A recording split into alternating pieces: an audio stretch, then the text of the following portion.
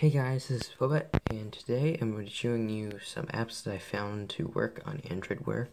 Now, this is running Android Wear 1.5 uh, Marshmallow, so um, I'm assuming that all these apps will work on Android Wear 2.0 as well. So I'm just going to go down this list, so they're not going to be in any particular order. So first, I'm going to be going over uh, ES File Explorer, and um, this thing works pretty well. Um, it can play videos, music, and it can even browse the web because it does have a built-in web browser. Now, it is pretty bad, so I wouldn't recommend using it, but I mean, it's there. So, despite everything being pretty clumped together, it is usable. So, let's see. I have some sample pictures here. Um, click here. And there you go. A picture of my dog Can kind of zoom in. However, sometimes the gestures kind of like get in the way. As you can see, you can kind of uh, go this way, but eh. so as you can see, you can zoom in. Um, everything works pretty well. Let's see. So there you go. Um, you can also listen to music. So let's go ahead and show you that. Hopefully, um, YouTube does not copyright this. Let's do this. So there you go. Uh, my speaker is pretty tinny for some reason. So ES File Explorer works pretty well. Um, I've not I have not run into any major problems. Um, only thing that doesn't work is the um, file cleaner. I guess you're oh, didn't close it. Just try that again. Um, it's that file cleaner. It's uh, it's right here, I believe. Yeah, right here. Click clean now shows you how much space it could free, but um, you can't scroll down to clean it. So that was the only problem I encountered using ES File Explorer. Everything else works. Um, whoops. It can get slow at times, but it's pretty usable. I mean, you're not going to be uh, needing a file explorer on your watch, but you know, it's there. So the next app I'm going to be going over is Chrome, and web apps are a little tricky because Wi-Fi is a little iffy. You have to have the um, what, settings app in the background in order for it to stay connected. So, oh, and it's kind of freaking out because currently plugged into my laptop, which um, doesn't supply enough power, I guess. So when it doesn't have enough power, it starts flickering. I've noticed. Um, the stock uh, fast charger does not do that. Um, so we're gonna go do Chrome. It should it takes a little while, but small websites are fine. So like loading Google shouldn't be too much of an issue. Uh, pretty soon we should be seeing Google Keyboard pop up, which is another app I got working. Only thing that doesn't work in the app is the settings. Um, you can't get into the setting it force closes, but the keyboard itself works um, you're just going to be stuck with the default settings, which is fine. Alright, and it just loaded in. We're at the um, Google Chrome homepage. We're not on the website right now. Um, give it a little while longer to load in. Also, doesn't help that I installed all these apps for the video and there's no uh, free space. I think we have 100 megabytes free, so that's also a problem. Oh, and there's also a Google Doodle, so it has to download. So and apparently it's the first time I've actually opened it, so all these factors are uh, kind of uh, adding to the slow performance. Let's see, no, I don't want to sign to Chrome. Alright, and there we go. Let's see, is it working now? Yep, okay. So let's just go to uh, Google, and we'll go from there. I've actually gotten YouTube videos to play on that, which is pretty cool. And we're going to some website, okay. Apparently there's a news section that I clicked on. Whoops. Come on, Google Keyboard. Alright, well, never mind. I guess we're not going to Google. We'll click this news article instead. Um, it hasn't fully loaded in, but as you can see, it's working. Let's see. Come on. There we go. Alright.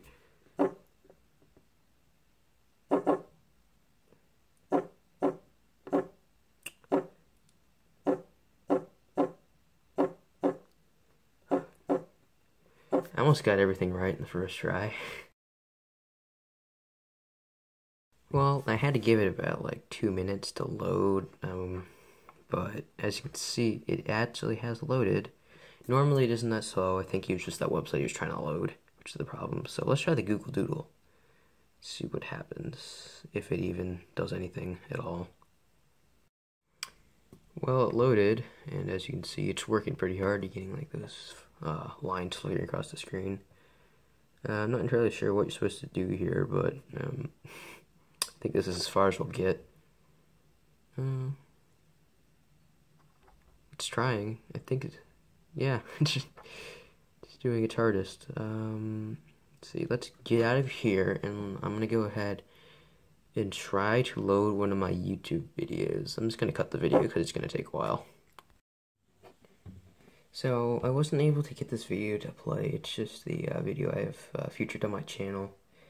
And I've played this video before, but I'm just going to blame my internet connection. I don't know what uh, resolution the video plays at on the mobile website with Chrome.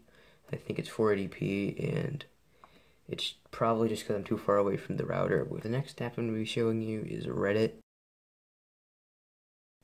And there you go. As you can see, uh, it's working. However, the internet connection isn't great again, so pictures probably aren't going to download. So let's um, let's go to Ask Reddit. So it says they're mostly text posts, so it should be easier to download. Alright, well just loaded.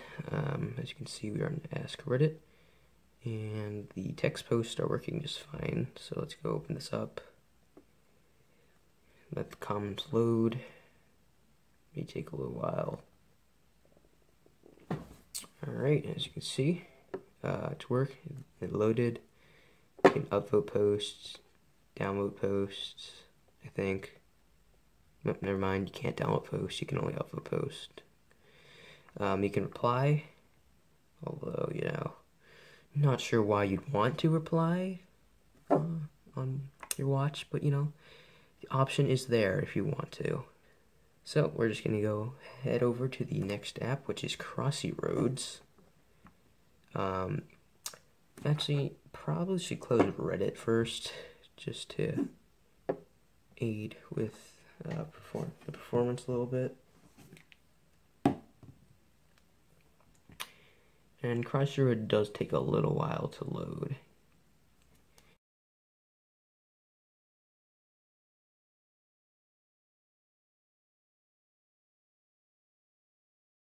Alright, and as you can see it's loaded up. Uh, it's being a little slower than usual, however, I mean once it's loaded, performance is okay.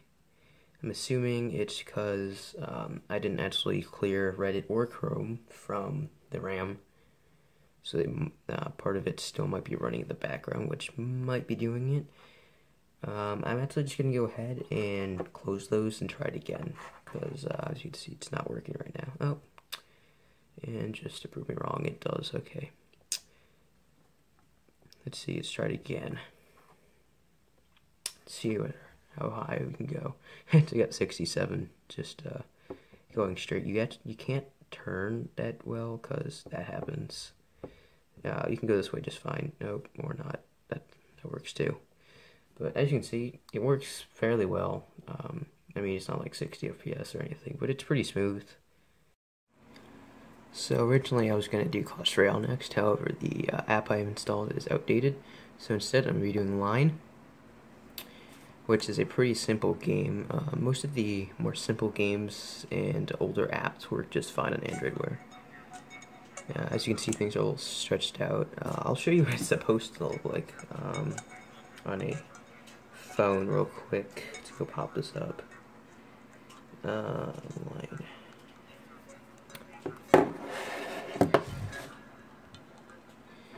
This is more of what it's supposed to look like. So, as you can see, uh, it's a little, a little squished together, but um, it is playable attempt at this game. It's kind of hard. My high score is only like 30, so um, there you go. a pretty simple game. I mean, it does pass the times, so you know, there you go. Um, the next side-loaded app I have is uh, GL Tron. Um, there is a non-ported version. Well, it's ported, but it's for Android Wear, so it doesn't like rotate like this. Um, and the settings work. This the settings does not working here, and sound works in here too. So you, might be able to hear.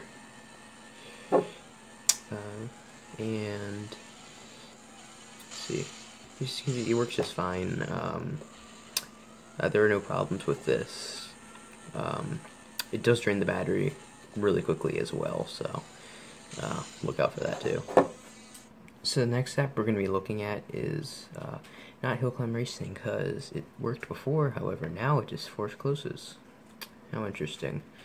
Um, another app is Device Info, it's pretty simple, um, so kind of expected it to work. It basically just tells you um, your device info, I mean there's nothing too special. Um, I did actually use this to figure out the DPI, to change the DPI, um, and as you can see, this is Android 6.0, um, and just, you know, basic information, but it's pretty useful, and for some reason, you cannot slide to close that app. Um, this app was never intended for Android Wear, but for some reason, that was disabled, so, not sure how that works, but, yeah. Uh, as you can see, we have Google Keyboard. However, um, that doesn't actually open. I'll show you real quick. It, it, that's literally all it does. it just pops you in the last app you're in. Um, and I think I have one or two more apps to show you. Oh, here it is. It's Square It. See. Alright, I had some difficulty getting Square to open. Um, it just sat at the um, uh, home screen or the watch face like that. Just It just sat there the whole time. So I had to close it a couple times. However, uh, I stopped recording, decided to skip it, and uh, lo and behold, it worked. So, uh, only problem is, as I already mentioned before, besides the really small buttons, um, is that you you tend to close the app. Oh, like when you try to swipe this way. Um, there's actually a way to get around that. You go like instead of going like this, you go sideways in this way, and then you can complete the puzzle that way. Um, unfortunately, a lot of the puzzles require you to go like that, so it's a little inconvenient. But I mean, if you're okay with that, it is possible to uh, do most of them. Uh, sometimes the puzzles are so big it's really hard to see where things are, which is the only other problem. But um, I think this is a pretty simple and fun uh, game to pass time, and hopefully the developer ports it to Android Wear. Um, the other app that they've made is um, Inf Infinite Loop, which they ported to Android Wear or ported, uh, made for Android Wear. So um, maybe in the near future they will work on that, but uh, I see no reason they wouldn't. I mean, just uh, there's a couple of small modifications they have to do, and then it should work. Alright, so the last app that I uh, successfully sideloaded was Zoid Trip, which works most of the time, however sometimes it does force close, but uh, as you can see it is playable, however this happens don't know why. Um, sometimes it happens, sometimes it doesn't. Uh, I think it might be an issue with uh, it not having Google Play services, but uh, yeah. Anyways, hope you guys enjoyed the video. Sorry if it was a little thrown together. Uh, was originally going to be doing a uh, uh, camera test on the Galaxy S6. However, uh, Windows Movie Maker cannot do 4K video. The highest resolution it can do is 1080p. So I'm going to have to find a, a, different video editing application. So um, figured that this would be an okay um, filler video as I try to figure that out. Anyways, hope you guys enjoyed the video. Um, leave a like if you liked the video and a comment if you have any questions. Um, installing the apps is pretty simple, but if you guys would like to know how I did it, I can make a video on that too. Anyways, hope you guys enjoyed the video once again, and I'll see you next weekend.